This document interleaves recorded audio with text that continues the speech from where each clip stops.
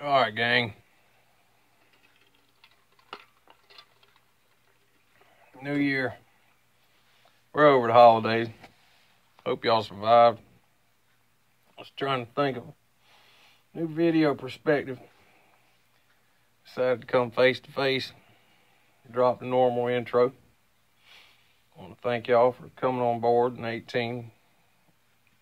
Hope y'all stay with us in 19 and beyond.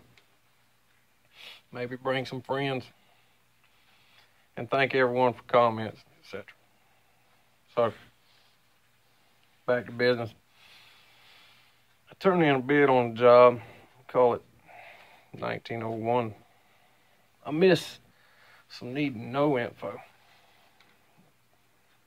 Plan to put in a bid, Hail Mary bid. Maybe pull a rabbit out of the hat and turn some money. Misjudge some sizes on some material. Try to cover a few of the 19, uh, 2018, 2018 expenses. Bought two portable welders, two trucks, three suitcase style welders, torch rig, a few hand tools. I had a little bit of knowledge when we started, I still got most of that left. We just chatted with a prospective customer. We'll work hard on that one.